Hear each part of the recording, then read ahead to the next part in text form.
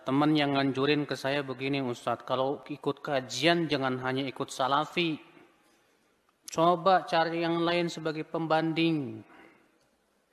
Bu, kalau yang dimaksud dengan salafi di sini artinya, ya, ustadz tertentu, maka saya katakan kita jangan menuntut ilmu kepada satu ustadz.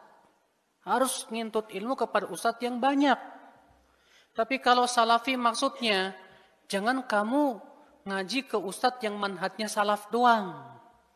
Nah sekarang jadi pertanyaan, kalau selain manhaj salaf, manhaj siapa yang akan kita ikuti?